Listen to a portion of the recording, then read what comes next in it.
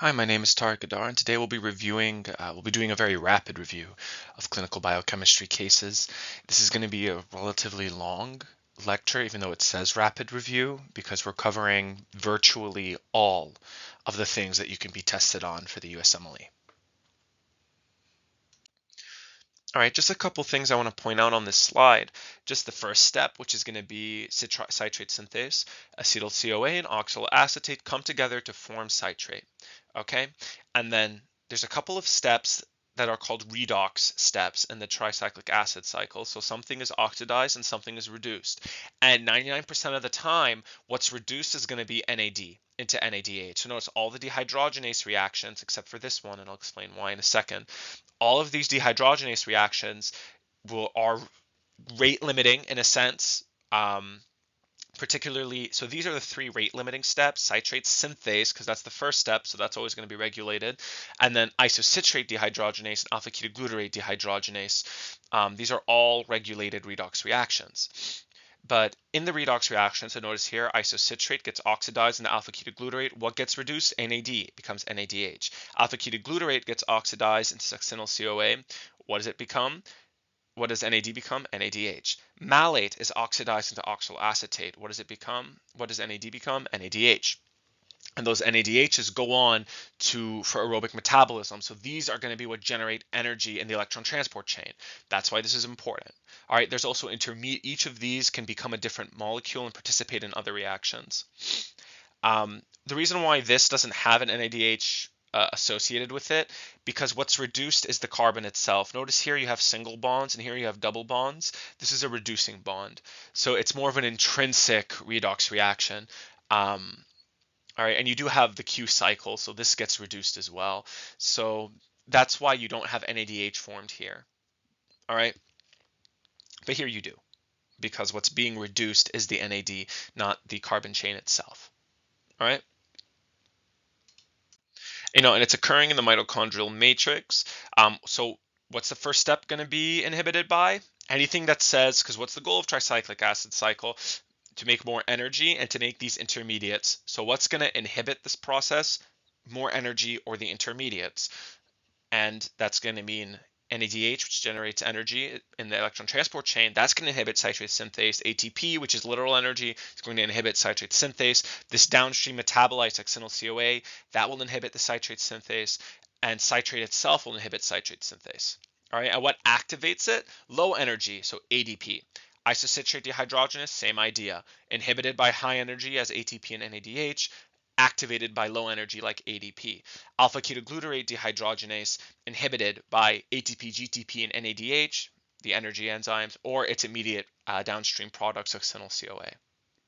You can read this at your own leisure if you want to pause real quick. I'm not going to emphasize too much on it. Just want to point out that NADH acts at complex 1, FADH2 acts at complex 2, and you get more energy when NADH is uh, the source of the electrons, just because it, there's more reactions. Notice here there's a hydrogen that's released, and here there isn't, and that's the reason why.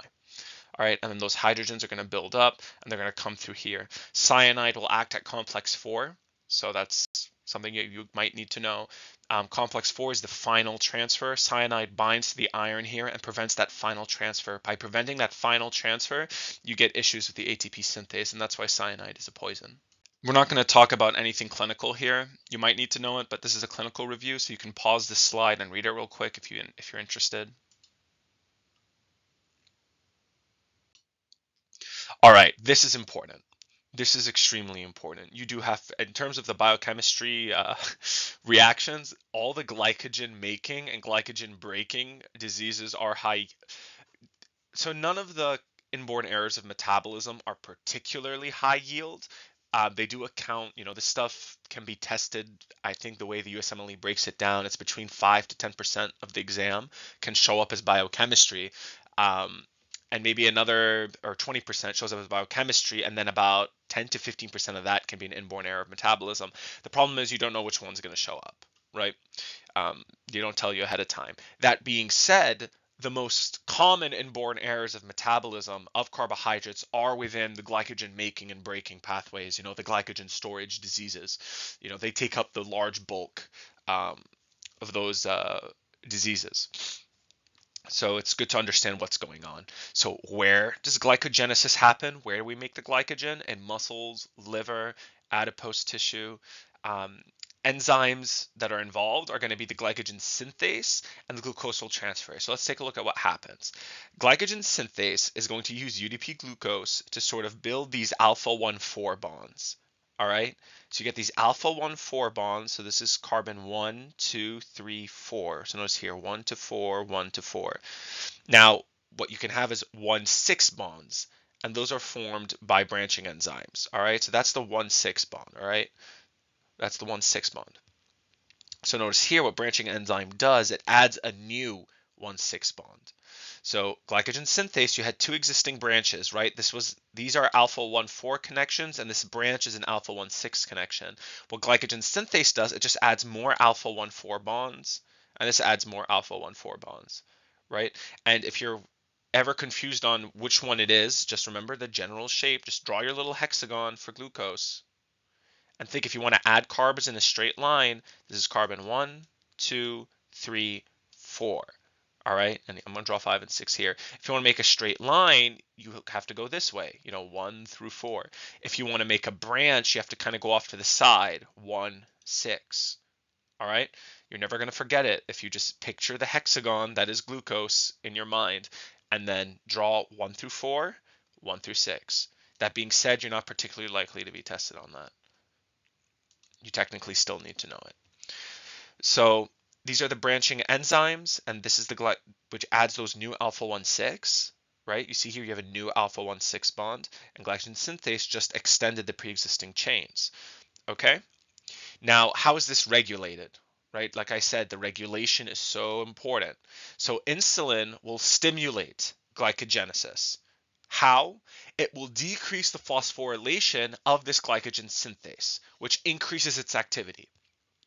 So in a previous lecture, I said, you know, you don't want to always think that phosphorylation switches things on. It can switch them on or off depending on the context. Here, the increase, the decrease of the phosphorylation of glycogen synthase is what turns it on. And insulin, as a general rule, upregulates protein phosphatases. All right. So you can try to group this together to remember it uh, more easily because you say, okay, insulin works through protein phosphatases. So I expect whatever it's going to do, it's going to, most of the time, it's going to involve dephosphorylation. Okay, if I were to go one step further, so how do I think insulin is going to affect glycogen synthesis?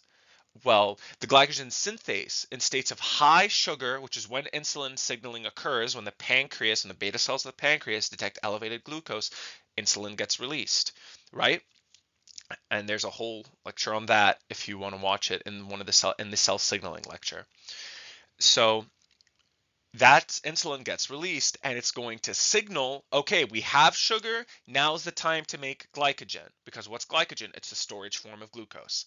All right.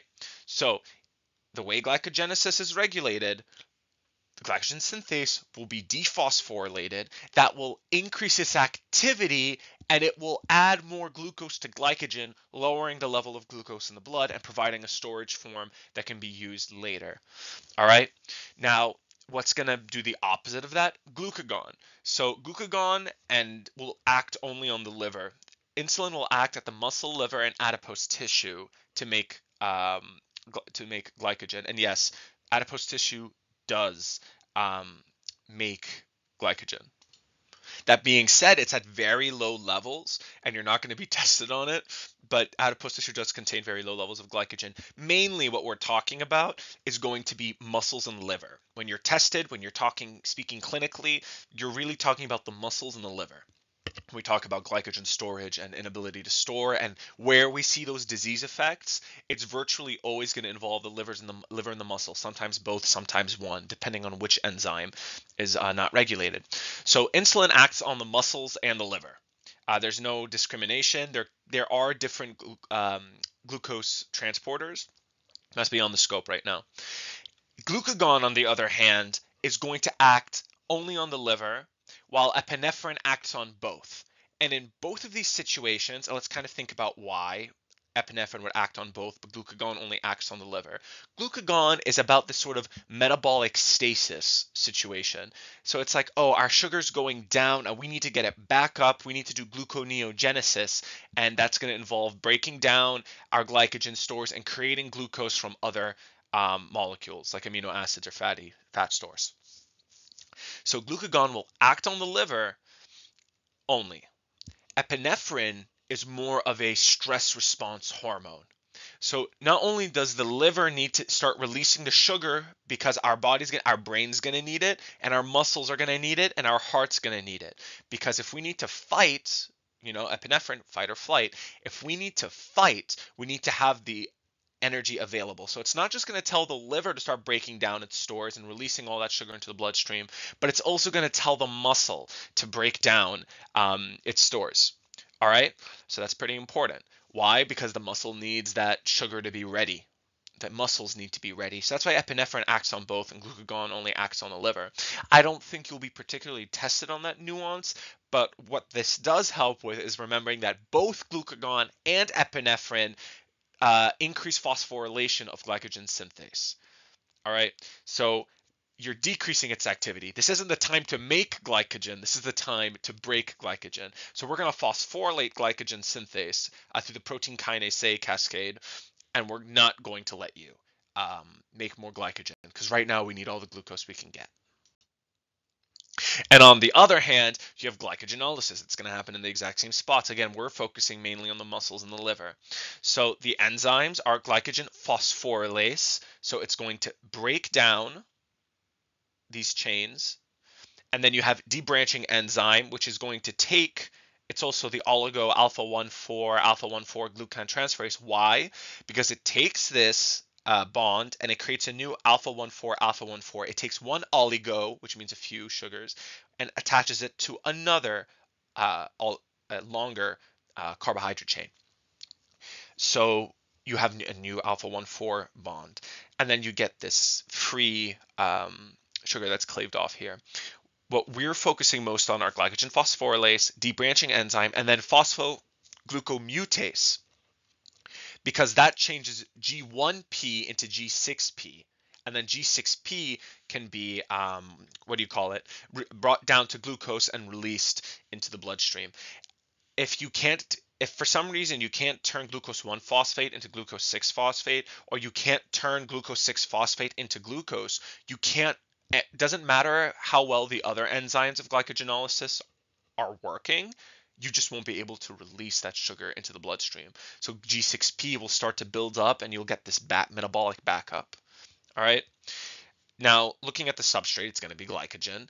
Uh, what's going to stimulate it? Well, if we just talked about this, if glucagon and epinephrine phosphorylate glycogen synthase to decrease its activity, they will phosphorylate and activate the phosphorylase because this is going to be what frees up the glucose. The whole point of glucagon and epinephrine is to release glucose into the bloodstream. So glucagon and epinephrine are going to act on um, are going to act through the PKA pathway, and that's going to lead to phosphorylation and activation of the phosphorylase. Epinephrine will also have a there's another pathway um, using a different receptor that isn't particularly important for us to know. Just know that there is a calcium dependent process that upregulates the phosphorylase kinase. So the thing, so there's two ways it gets activated. It gets activated directly by epinephrine through one uh, mechanism. And then there's a second mechanism where epinephrine activates the phosphorylase by activating something that activates the phosphorylase, and that's a calcium dependent process. And in terms of inhibitors, the opposite's going to apply. So insulin is going to dephosphorylate, and that decreases the function of the phosphorylase. Why? In states of insulin release, you already have enough sugar physiologically. So there's no need for phosphorylase? And how does insulin act through dephosphorylation? Is phosphorylase more active or less active with dephosphorylation? Less active with dephosphorylation. All right. So there's two uh, enzymes that kind of want to distinguish between hexokinase and glucokinase. Hexokinase is in all the tissues. Um, there's feedback mechanism with G6P. Um, it's more of a metabolic function, and the disease states you need to think about are hemolytic anemia. So this is the glucose transporter, or not transporter, but the um, the phosphorylation enzyme that sequesters and traps glucose inside the cell. When you phosphorylate glucose, that's like a tag that says, okay, you're in the cell now and you're going to be used for metabolism. Otherwise, it can go right back out the way it came. All right, so that's how we trap it. Hexokinase traps glucose for metabolic reasons. Okay, um, glucokinase is more for sensor sensing and homeostasis. All right, it doesn't really have an allosteric uh, loop to it. It's really used just for the liver to know how much glucose there is, so it knows what storage mechanism is most appropriate, and for the pancreas to monitor levels of glucose and release insulin as um, or glucagon as required.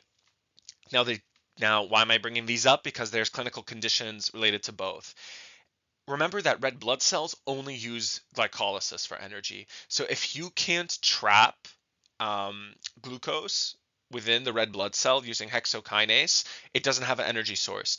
And that leads to quick breakdown of the red blood cell or hemolytic anemia. Hemo meaning blood, lytic meaning splitting. In the case of glucokinase mutations, um, what we're talking about are MODY mutations or mature onset diabetes of the young. And here's how you can think about this. And when we say mature onset diabetes, we're talking about type 2 diabetes, right? Which is usually decreased sensitivity. So you might be thinking, oh, but then if it's onset of the young, does that mean type 1 diabetes? No. Not all diabetes that happens in youth is type 1 diabetes. The mechanism is different. In type 1 diabetes, you have an autoimmune reaction all right, there's an autoimmune reaction that has destroyed the beta cells. You do not make insulin. You need supplemental insulin. In mature onset diabetes of the young, you are you don't have sensitivity. Why? Because you have a mutation in glucokinase. The enzyme responsible for tracking your blood sugar levels does not work. So that's why. Yeah, so what I want to point out here are a couple steps. The first one is hexokinase, like we talked about. You can see here, glucose comes in, hexokinase phosphorylates it, and that dedicates it to metabolism. That phosphorylation sequesters the glucose and dedicates it to metabolism. And then another reaction happens, and then this is the other major rate limiting. This is this is not the other. This is the rate limiting step of glycolysis, phosphofructokinase 1, PFK1. And what that does, it takes the fructose 6 phosphate and makes it fructose 1 6 bisphosphate. And then all of the stuff that happens with glycolysis um, continues here. All right, there's another pathway called the pentose phosphate pathway, but we'll talk more about that later. Since red blood cells use glucose for energy, any defect in glycolysis will cause a hemolytic anemia. All right.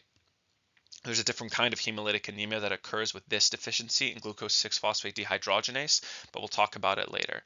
Um, for now, think generally speaking, this pathway creates your antioxidants. And in the absence of these antioxidants, the red blood cell is more vulnerable to oxidative stress. You have a mutation in this. Um, you have oxidative hemolytic anemia in the presence of an offending agent. But we'll talk more about it.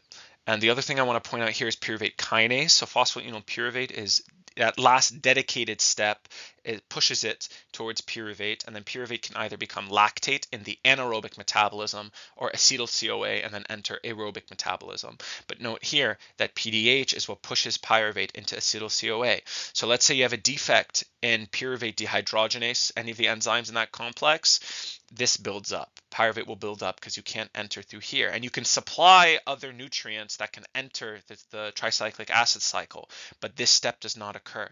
And if this step does not occur, this builds up. If this builds up, it goes into the lactic acid pathway as well. And that causes a lot of damage, as we'll see in a bit the mo- so you can go through this at your own leisure but what i would really want to emphasize is what activates is going to be insulin because when your body has excess sugar it wants you to use it. What deactivates is glucagon because when the body wants to make new glucose and prioritize it for the brain it doesn't want you using that glucose in other cells. So glucagon and its target cells prevents uh, glycolysis all right? Um, and the other main thing to point out is with pyruvate kinase, that buildup of fructose 1,6 bisphosphate, because remember, phosphofructokinase makes fructose 1,6 bisphosphate. All right, so buildup of 1,6 bisphosphate and pyruvate kinase is a, is a downstream step. It says, look, we have all this built up. We need to finish the reaction. All right. And what I really want to linger on for regulation is the regulation of PFK.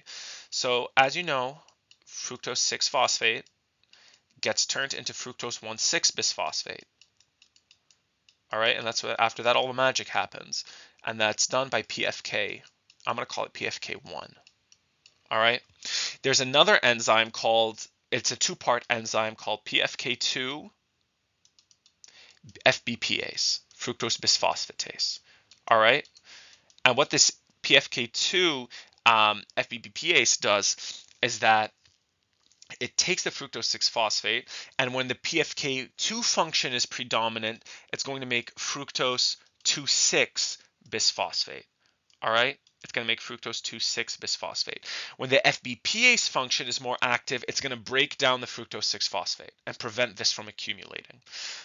This PFK2 has a higher affinity. It binds this fructose 6 phosphate has a higher affinity than PFK1. PFK1 does not bind the fructose 6-phosphate as strongly. What that and why that's important is because fructose 6-phosphate, as I've highlighted here, feeds back onto PFK1 and then activates it. All right. So what that means is that there's an internal sensor, even in the absence of insulin and glucagon signaling. There's an internal sensor that says, okay, how much sugar do we have? And it measures that through the amount of fructose 6-phosphate. As fructose 6-phosphate builds up, it gets pushed into the 2,6-bisphosphate pathway. As it builds up in the 2,6-bisphosphate pathway, it reaches a threshold where it then positively pushes glycolysis through uh, allosteric regulation of PFK1. So PFK1 gets switched on by the fructose 2,6-bisphosphate, and that allows dedicated glycolysis and the formation of fructose 1,6-bisphosphate to occur. Um, in the presence of FBPase function, that doesn't happen. All right, so what, what causes increases and decreases in either of these functions? We've established that there's a baseline level, and that baseline level will feed back onto PFK1 and influence it. But how, do, how is that altered by hormone signaling, which is ultimately the most important part of this? In the presence of glucagon, remember glucagon acts through protein kinase A and phosphorylation. Glucagon's phosphorylation of this enzyme increases the FBPase function. Remember, it's one enzyme with two parts. And when it increases this FBPase function, that is going to prevent the accumulation of fructose 2,6 bisphosphate. That means that PFK1 will not be stimulated. And if PFK1 is not stimulated, um, you will not have the breakdown of glucose, which is important for glucagon's function because glucagon wants you to spare sugar wherever possible. When we look at insulin, insulin, we've established that it acts through protein phosphatases. So the dephosphorylation of this enzyme, remember it's a two-part, it's an enzyme with two parts, the FBPase and the PFK2. But dephosphorylation of this two-part enzyme activates the phosphofructokinase function. What does insulin want you to do? There's extra sugar, it wants you to break it down. So it activates PFK2, so more uh, FP, F6P becomes F26BP. That fructose 2,6 bisphosphate will then activate phosphofructokinase in the glycolysis pathway, and that will take all that extra sugar and push it through uh, glycolysis. All right. There's a couple of things pyruvate can become. What I want to draw um, a lot of emphasis on is the acetyl CoA. All right, um, because if it this enzyme is inhibited, and you can go through the rest of this at your own leisure, but if this is inhibited, you get buildup in the other pathways. All right, and most notably the lactate pathway. All right, so in the in this uh, set of reactions, the gluconeogenesis reactions, there's a couple things I want to uh, point out uh, pyruvate, first of all, the very first reaction requires a vitamin called biotin, and I'm not going to go into it now, but this vitamin deficiency is a big deal. Uh, I might go, I might make a vitamin lecture, I might not, so I would review that in your own time. But this pyruvate carboxylase reaction requires a vitamin cofactor called biotin. But in terms of regulation, what I want to focus on is this step, and it's sort of the opposite of glycolysis. In glycolysis, fructose 6 phosphate through phosphofructokinase 1 becomes fructose 1,6 bisphosphate. In gluconeogenesis, this fructose 1,6 bisphosphate is broken down back to fructose 6 phosphate. And they're both, you know, they're mirror images of each other. This is the major rate limiting step of glycolysis. This is the major rate limiting step of gluconeogenesis. So what's going to activate gluconeogenesis and this rate limiting step? Glucagon, because that's its whole deal. What's going to inhibit gluconeogenesis and inhibit this step? Insulin, because that's what insulin does. All right. And then the energy levels. All right. I don't want to draw out the whole pentose phosphate pathway. What I want to emphasize is that the glucose 6 phosphate dehydrogenase enzyme converts glucose 6 phosphate to 6 phosphogluconate, and that gives uh, rise to the ribulose, you know, the five carbon sugars. Let's let me put it this way: glucose 6 phosphate is turned into a different, uh, you know, sugar by G6P dehydrogenase, and then that's used to make the reduced the five carbon sugars. To reduce the sugars you also, sorry, to oxidize these sugars, you need to generate NADPH. All right, so NADPH through its interactions with glutathione will be an antioxidant. And defects in G6PD give rise to hemolytic anemia in the context of oxidative membrane damage because you don't have enough NADPH to act as reducing equivalents. You can't reduce um, the oxidative species. Um, one thing I want two two things I want to point out with um, this reaction. First, the aldolase and the fructokinase. So the fructokinase, it's similar to the hexokinase for glucose, where it traps fructose for um, what do you call it? For metabolic functioning. Okay.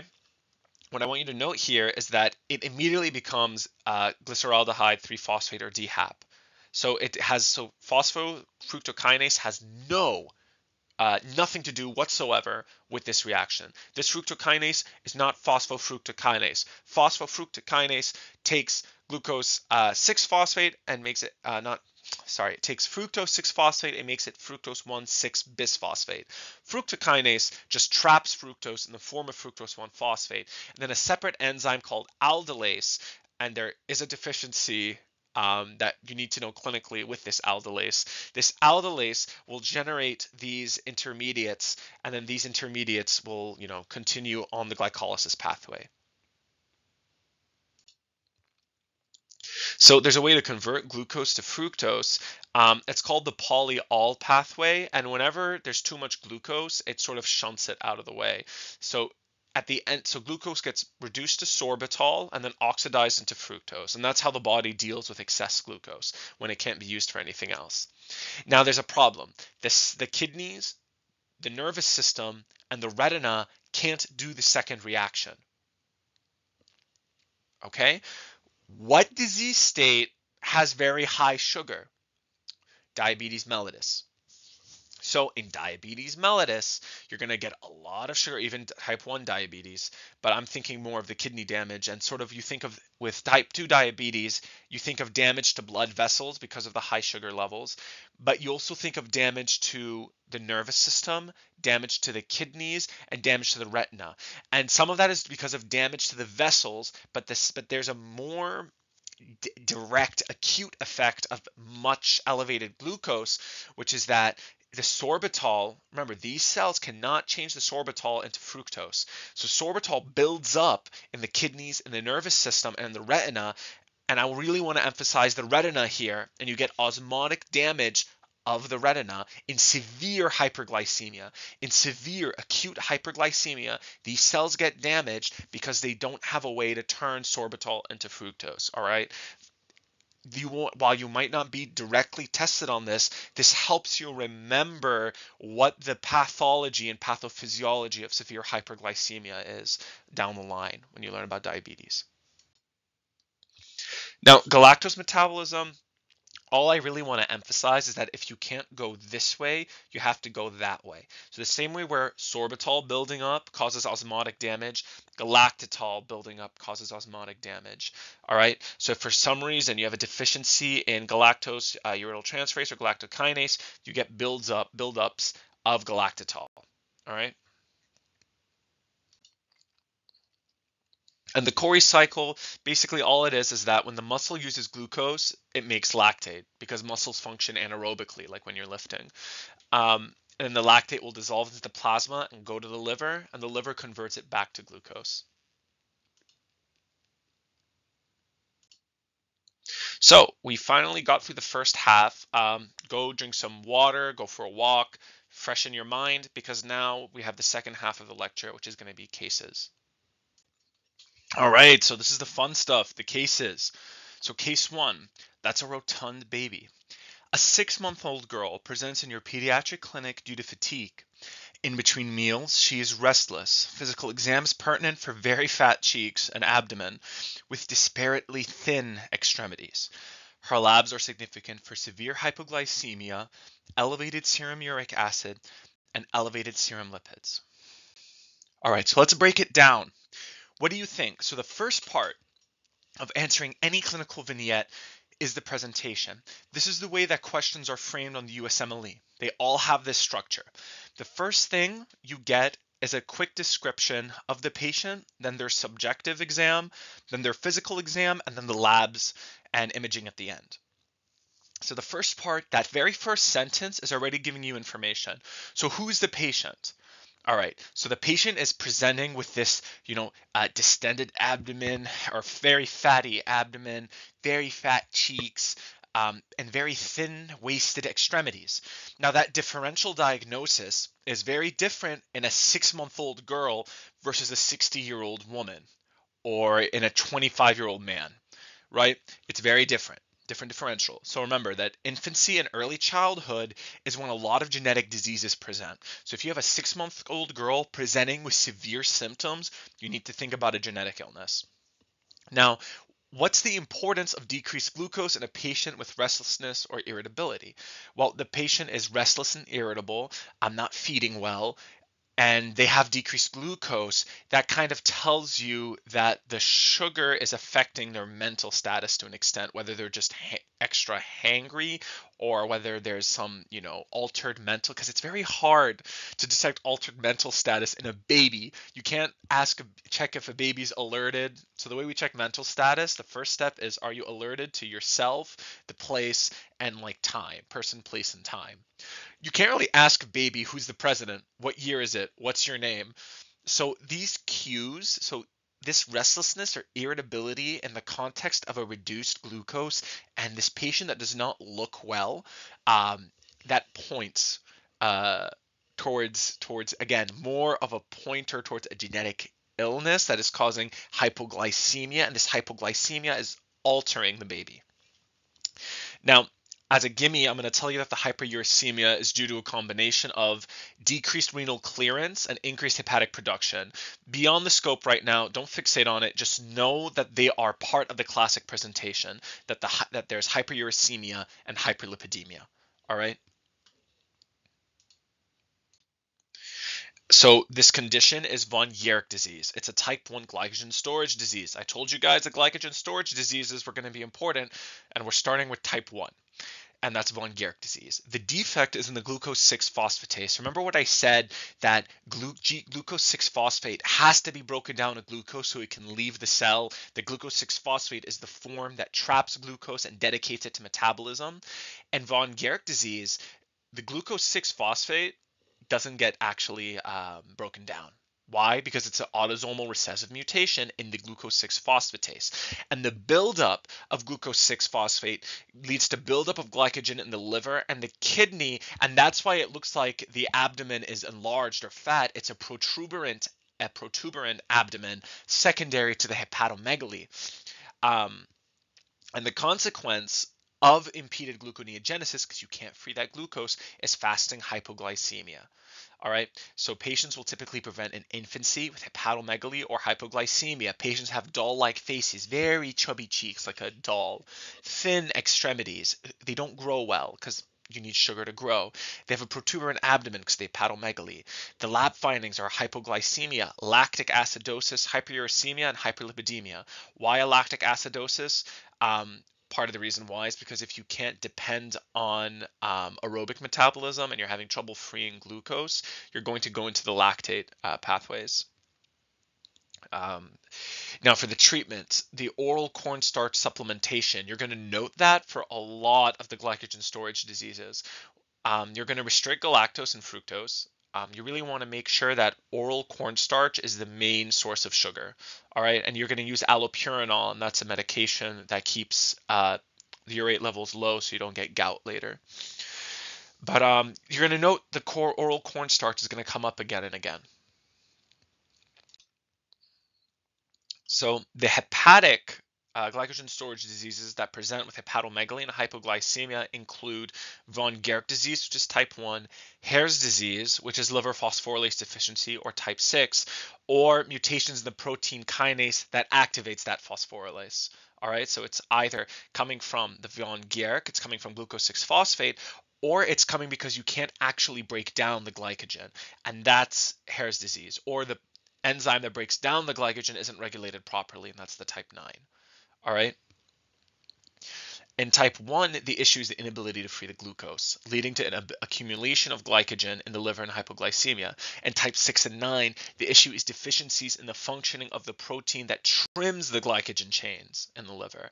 And that's how you get an accumulation of glycogen and hypoglycemia. Nothing to fear, adolescence will be here. A four year old boy is brought in for a routine physical. He is not meeting his physical growth development milestones. On physical exam, you note hepatomegaly and decreased muscle strength. Labs are pertinent for mild hypoglycemia with slight elevation of liver enzymes. So, how is this presentation different from the one we just saw? You don't really see an altered mental status. Really, you're noticing a mild hypoglycemia. But how is it similar? You have some muscle weakness, some growth stuff. It's it's there are similarities. It's just not as severe, and that's the liver phosphorylase deficiency which is type 6. So here the defect is an autosomal recessive mutation in glycogen phosphorylase, which is required to break the alpha 1 4 bonds in the glycogen and release of glucose 1 phosphate. The absence of the glycogen phosphorylase leads to accumulation in the liver and fasting hypoglycemia. It presents early in childhood with hepatomegaly, mild hypoglycemia, and growth retardation. Patients may have muscle weakness or other rare variant mutations. You're going to have mildly elevated liver enzymes, hyperlipidemia, and hypoglycemia hypoglycemia. Again, the treatment here is oral cornstarch supplementation. That's how you provide the sugars. You're going to restrict galactose and fructose. You're going to use allopurinol to manage urate levels, and this usually resolves by adolescence. Actually, you don't need to restrict galactose and fructose, and you don't need allopurinol here. So that was a copy and paste error that I'm just noticing now on my part. My bad. So the main treatment is oral cornstarch supplementation the hepatomegaly will resolve by adolescence. All right, but you will use oral cornstarch supplementation uh, for a while. Then you get to McArdle disease, uh, and that's type 5. All right. So this is the reason why I'm grouping it here is this is a mutation in the muscle glycogen phosphorylase. So in the muscle glycogen glycogen phosphorylase, this is a bigger deal because if you can't metabolize the glycogen in the muscle, that leads to myopathy. All right. So that buildup of glycogen damages the muscle. It'll present in adulthood. Compare that to liver phosphorylase deficiency that presents in childhood. McArdle disease, muscle MM, McArdle, McAdultal, McAdultal, McArdle will present in it's a muscle glycogen phosphorylase deficiency that presents in adulthood. It takes the form of exercise intolerance and muscle cramping with exertion. Rhabdomyolysis or breakdown of the muscle will lead to dark colored urine, and that's from the myoglobin in the muscle. Um, and that can cause a kidney injury, so a patient can present with a kidney injury as well. The lab findings will be elevated creatine kinase at rest. So the treatment is to avoid strenuous exercise, increase tolerance of exercise with a monitored, graduated training program, um, and you always take in a bunch of sucrose and glucose beforehand to provide energy. So basically, what happens is that glycogen it builds up, it can't be broken down, you can't use it, and that's what muscles primarily use as their energy source. They break down the glycogen into glucose, and then they use the glucose if you can't metabolize glycogen in the muscle, you actually the muscle dies. You get rhabdomyolysis, and that's very dangerous because the myoglobin from the muscle can actually damage the kidney. So that's why I said patients can present with a simultaneous kidney injury because when rhabdomyolysis is bad enough, you can damage the kidney. So case three, ode to a lysosome. A two-month-old girl presents for failure to thrive. She has decreased muscle tone, a large tongue, and mild hepatomegaly. Analysis of her heart function is concerning for hypertrophic cardiomyopathy.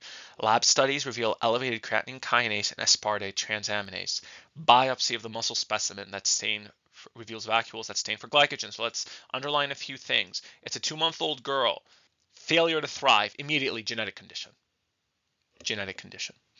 She has decreased, and that's that's not the only thing on the differential, but you better be thinking about it. She has decreased muscle tone, a large tongue, and mild hepatomegaly. You have multi-organ system involvement. All right. Analysis of her heart function is concerning for hypertrophic cardiomyopathy. All right. You have a large tongue, a large heart, decreased muscle tone, and an enlarged liver. And you're going to see increased heart enzyme. These are muscle enzymes specifically. Um, increase, but you can they it can come from the muscle, can be coming either from the heart or from your muscles muscles. But you have an elevated creatine kinase and elevated liver enzymes. When you biopsy the muscle specimen, you see vacuoles that stain for glycogen. So what is being what are we told now? We have vacuoles that stain for glycogen. So we have a glycogen storage disease. We have a buildup of glycogen in vacuoles. All right. Those should be broken down, but they're not. So it's a type of glycogen storage disease. We have liver and muscle damage and hypertrophic cardiomyopathy. In addition, we have a large tongue, which is a relatively unique, um, you know, defining feature. So that's how this is different from the other cases. You have hypertrophic cardiomyopathy, glossitis, or an enlarged tongue, or macroglossia, more not glossitis, macroglossia, and you have vacuoles that stain for glycogen. Does this seem mild or serious to you guys? I would say this is serious. I would say this is serious. So it's very so it's already presenting a lot differently. You have damn you have this hypertrophic cardiomyopathy in the heart. You have this buildup of stuff in the, um, in the vacuoles and cells.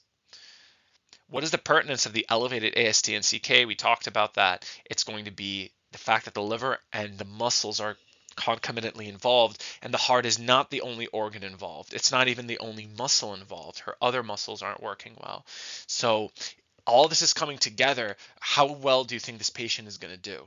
How long do you think this patient has?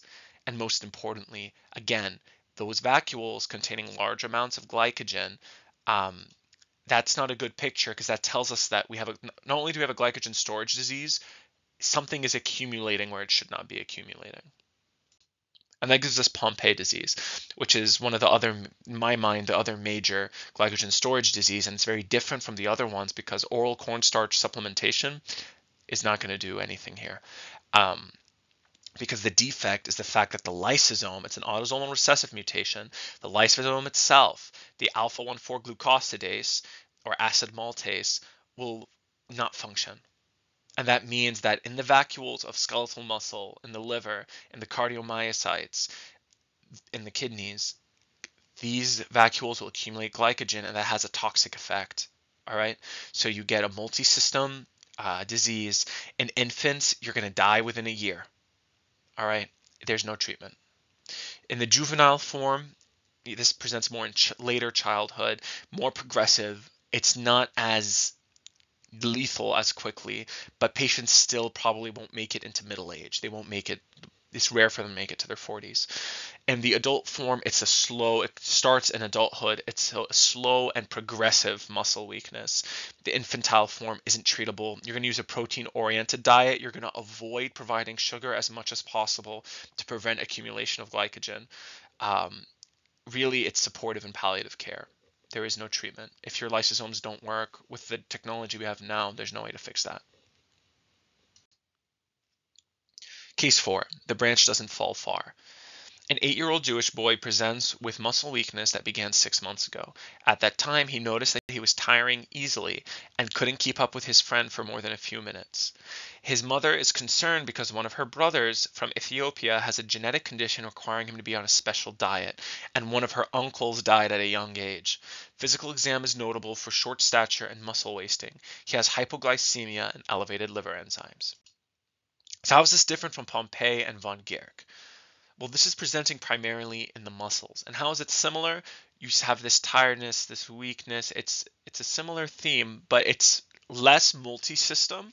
You know, there's it seems to be one organ that's involved, the muscles. What is the pertinence of elevated AST and CK?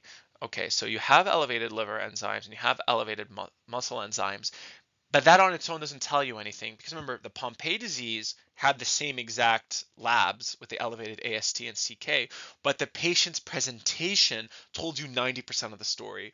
You would have already been suspecting Pompe disease in that little in that girl, regardless of how she of what her lab said, right?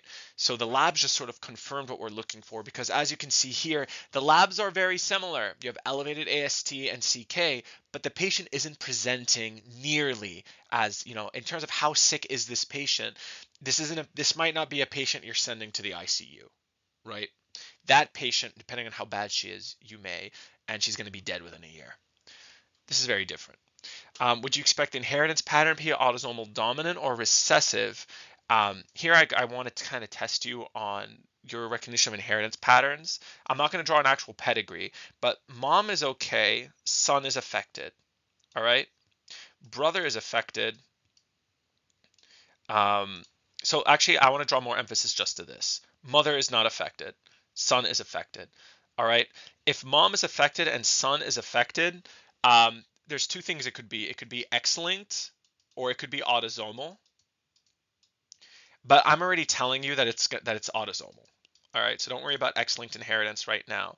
If this was a dominant trait and he got it from his mother because there's family history on the mother's side, if it's an autosomal dominant trait, the mom would have it too because she would have to be carrying the allele. And we're going to assume that the dad is healthy right? Dad is com- double check mark, completely healthy. We don't know what mom's status is, but if we know for sure that dad is completely healthy and the son has the condition and it's an auto and, and the mom doesn't, that means she has to be the one carrying the allele. And if she's carrying the allele and she's not sick, that means it's a recessive disease.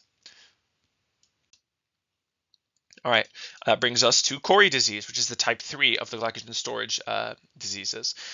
And it's an autosomal recessive mutation in the debranching enzyme. All right, and you can kind of figure out that that's going to lead to glycogen accumulating because you can't debranch it. Um, that leads to liver and muscle disease, the places where glycogen is stored. So very different from Pompe disease, where you had a problem with the vacuoles and you had a very multi-system uh, process going on. Here, it's more there's not proper debranching, and it's primarily affecting the liver and the muscle. And you're going to get hypoglycemia, hyperlipidemia, growth retardation, myopathies, and that can include the heart sometimes, hepatosplenomegaly, with the hepatomegaly resolving after puberty. Um, the treatment, you're going to use cornstarch to prevent hypoglycemia, and you're going to do a high protein diet to help with the myopathy. Um, but it's mainly symptom. You're mainly treating symptoms and working around that. The prognosis is not nearly as bad as with Pompe disease. And then you have Andersen disease. This is so we talked about debranching enzyme. This is a mutation in branching enzyme.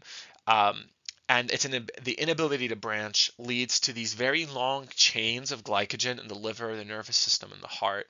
Um, and it presents infantile, so very different from Cori disease. Cori disease present its debranching enzyme presents more in adulthood.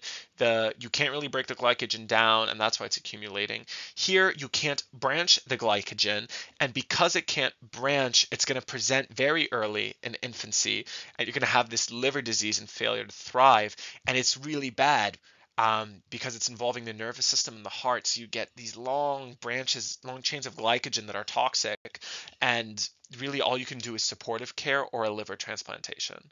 Um, the prognosis is very poor otherwise. Case 5 Ataxia, athetosis, hypotonia, oh my. A five-year-old boy is brought to the pediatrician due to poor coordination and difficulty walking. Physical exam is notable for poor visual tracking with poor bilateral pupil response. He has random flailing arm movements, and that's athetosis. Labs pertinent for lactic acidosis. Oh, I should have said ataxia, athetosis, acidosis. Oh my. That's fine though. All right. So, what do you think? This is pretty different. Do you think it's a glycogen storage disease? It seems to be more of a nervous system issue. So why is it important that the nervous system is the first system involved? Right? It tells you a couple things. Um, there are certain lipid metabolism diseases that affect the nervous system first because it targets the you know sheath, the myelin sheaths. But in this case, because um, because we're talking about carbohydrate metabolism, what you want to keep in mind is that the nervous system requires so much glucose that any inborn error of metabolism involving glucose, the first place it's going to manifest is the muscles. Uh, sorry, not the muscles, the nervous system, and then the muscles. All right. So, what does increased lactate tell us? All right, so we're already saying, okay, there's a problem somewhere in the glucose pathway because it's purely neuro presenting early. Um, so now we see there's an increased lactate. What does it tell us? What becomes lactate? Pyruvate. Okay, well, if we have pyruvate, the problem isn't before pyruvate. The problem is at pyruvate. So what would cause not enough energy and a buildup of lactate from the pyruvate step? Well, if pyruvate is being shunted into lactate. Why is it being shunted into lactate? Because it can't get into this into acetyl CoA and enter this tricyclic acid cycle. And that's why there's an energy deficit. And that's why the illness here is, if anyone wants to take a guess before I flip the slide, now is the time. Pyruvate dehydrogenase complex. It's an X-linked recessive mutation usually in one of the components of the pyruvate dehydrogenase complex, and that leads to an accumulation of pyruvate and deficiencies in acetyl CoA. The energy deficit leads to a nervous system dysfunction. The backup of pyruvate and shunt into the lactic acid pathway lead to lactic acidosis it's the condition manifests as progressive neurologic symptoms beginning in an infant usually that can present into late childhood you know associated with developmental delays poor muscle tone ataxia athetosis defects in eye movement seizures. Um, you'll have increased pyruvate and lactate and an anion gap metabolic acidosis secondary to the lactic acid. So don't worry too much about if you haven't taken uh, electrolytes and acid base disorders yet don't worry about this last sentence. Um, but if you have, then you should know what this is. And you should know that lactate is an organic acid, and that organic acid is not accounted for in the anion gap equation, which is sodium minus chloride minus bicarb. All right. So when this gap is increased, it means there's extra. These are the anions. This is the cation. The anion gap is the gap between these and sodium. When this gap is increased, that means that whatever you subtracted here didn't account for the anions right? Because this gap is increased. So it's like oh well there's a there's still a gap. What's causing the gap? It's usually an, ex, an extra acid. In this case lactic acid is that extra acid and you get an anion gap metabolic acidosis. You're ketogenic. You're going to have to put them on a ketogenic diet with lysine and leucine supplementation and here's why. So note where lysine and leucine enter. A lot of the amino acids have overlap at where they're entering. But if you look here, if you can't make acetyl CoA, which ones are only going to become acetyl CoA? The pure ketogenic amino acids. It's going to be lysine and leucine because these are both glucogenic. Either either they're glucogenic if you're trying to. You're not going to give these because you're not trying to provide um, pyruvate, and these can become pyruvate. Tryptophan and threonine can become pyruvate as well, and they can enter downstream of this cycle. So the ones that you're going to give, they're going to act that can be these amino acids that can become acetyl CoA. The body can convert them.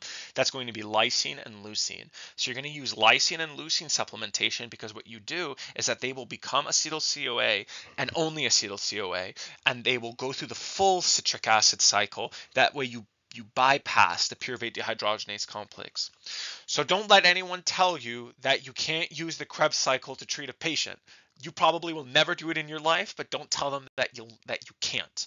You can. All right? I take offense to people who say that. That brings us also to glucose 6 phosphate dehydrogenase deficiency. I already talked about this a lot, so I didn't want to do a full vignette. Um, I just want to talk about the pathophysiology a bit more. Um, so it's an X-linked, rota- X-linked recessive mutation in G6PD. We already talked about, you know, the effect of oxidative stress. Um, so NADPH keeps glutathione reduced because NADPH is a reducing agent, and that keeps glutathione reduced. And when glutathione is reduced, it can find the free radicals and scavenge them. In the presence of oxidative stress and the absence of NADPH, you get hemolytic anemia due to oxidative membrane damage, and you get hemolysis and anemia you know destruction of the red blood cells and that leads when you break down a red blood cell you get elevations in bilirubin and that presents as jaundice um, and gallstones you can get fatigue because of the hemolytic anemia itself.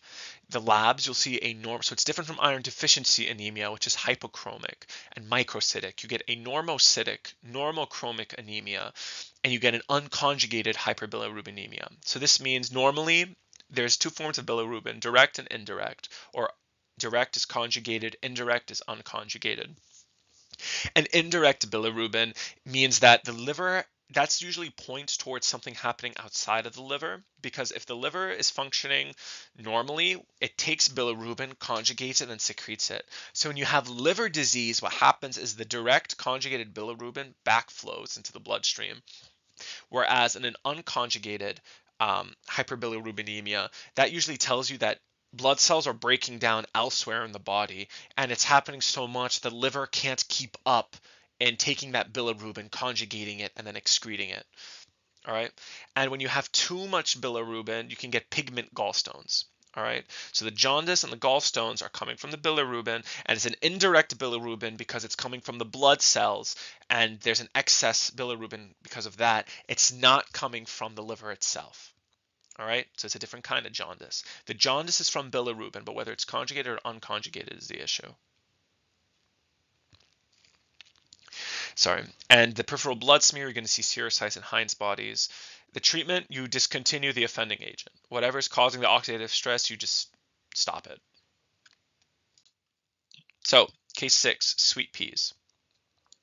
An 18 year old man presents for a routine physical exam and blood work prior to enlisting in the Army. He has a completely unremarkable physical exam and no significant past medical history. Urine dipstick is pertinent for reducing sugars. Family history is pertinent for type 1 diabetes in his aunt. So what do you think is going on?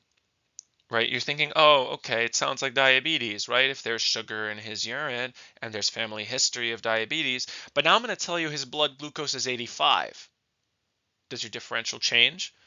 If the blood sugar is not above 160 or uh, 180, you're not. Is it 160 or 180? It's one of those numbers, 160 or 180.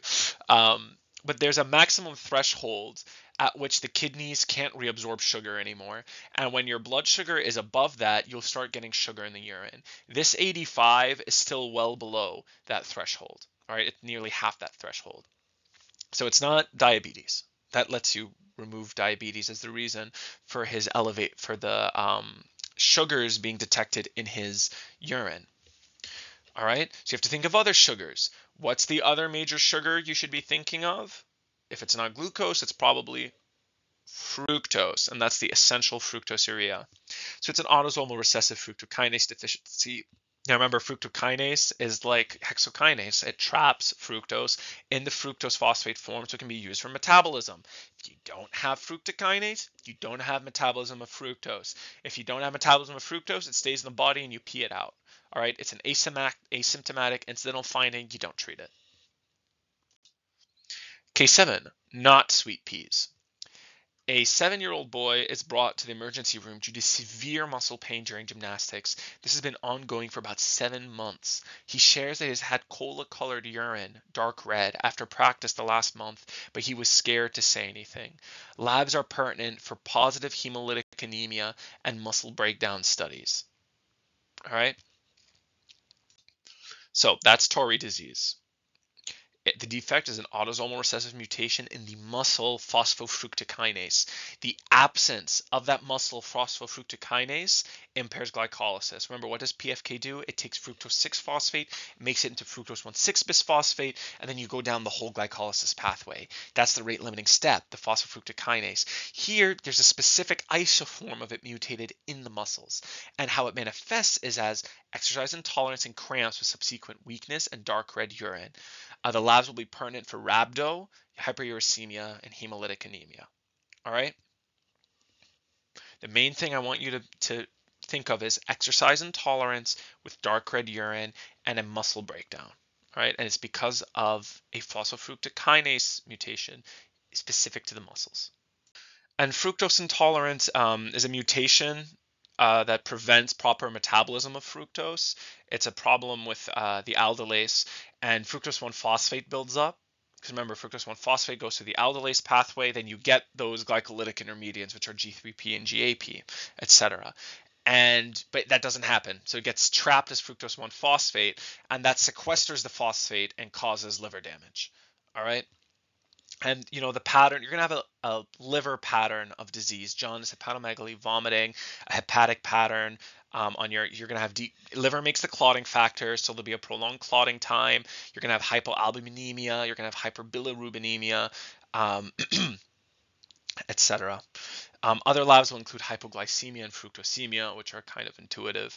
Um, there, I know this says non necessary, but that's another copy paste error. I apologize for that.